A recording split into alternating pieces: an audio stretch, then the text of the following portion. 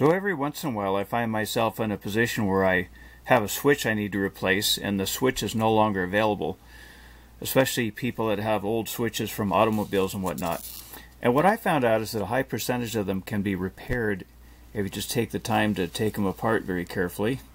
There's usually contacts in there you can clean up. Now here's one that I've already taken apart, but I just thought I'd go through the process to talk a little bit about it. So if you look at the switch here, it's a two position switch. It's got, actually it's three positions, center and then one on each side.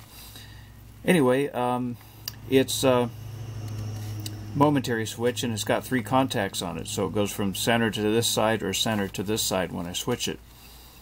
But if you take it apart, you'll find that there's contacts in it that you can take out. First you have this part here. This is the part that pushes down on the contacts. It's got a little spring-loaded jobby right there. You can push that thing in. And then if you look down inside here, you'll see where the actual contacts are. In fact, I can take them out here and let you see. This is one that I've actually already cleaned up, but basically I pulled this out of here and I found that the contacts were pretty pretty black, so the switch was no longer working. And this is a silver plated contact here, the same with this one here. So when I clean them up, I want to be careful not to clean it any harsher or harder than I need to because I, I, like that silver being on there, that plate or whatever it is. It's a good conductor. So what I usually do is I'll start out real gently with a coarse emery cloth like this if it's badly pitted. If it's not badly pitted, I might go right over to the emery cloth, which is, I think this one is about 600 grit, and I'll just go back and forth on the contacts like that.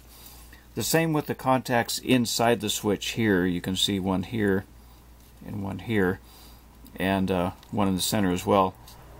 They were also covered with black stuff. So I'm just going to go ahead and put this back together now. Um, and I also add a little uh, dielectric tune-up grease to the not to the switch contacts themselves.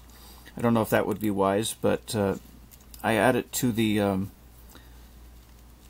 let me show you in a second here. Do I have that in there?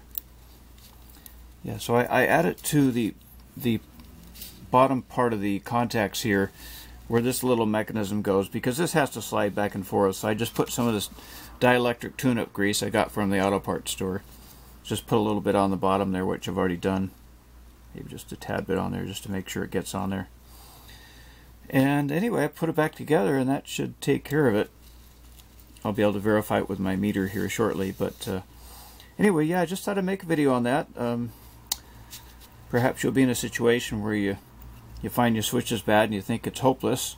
You might just want to take it apart and see what's possible. Anyway, as always, hope you liked the video. If you did, please give it a thumbs up and please subscribe. Let's see if this stays in place here. Yeah, that's just a momentary switch. Yeah, that should be fine.